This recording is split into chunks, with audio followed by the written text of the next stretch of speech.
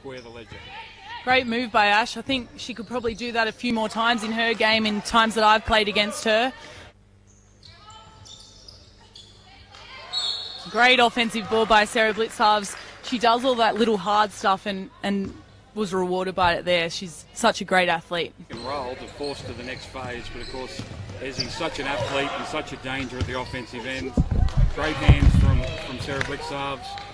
Create an opportunity for Alex Stuck in the paint in the WNBL, but certainly a, a, future opal with her ability to both play the point and shoot the three. Blicavs with a trademark steal and layup. Come out.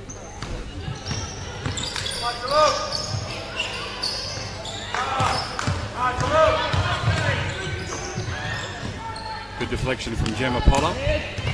And checking into the game for the Super Cats is another former scholarship holder here at the Centre of Excellence, Isabel Bourne. Of course, a junior of uh, Basketball ACT. Uh, Centre of Excellence at least putting some scoreboard pressure on their more experienced opponents. Yeah, it's really good to see some shots going in for the Centre of Excellence.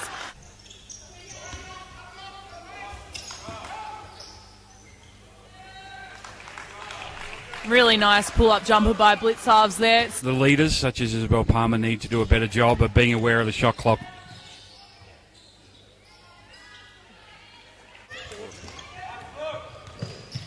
Yeah, they've got 14 turnovers um, to start the half, and you can you, you factor that in.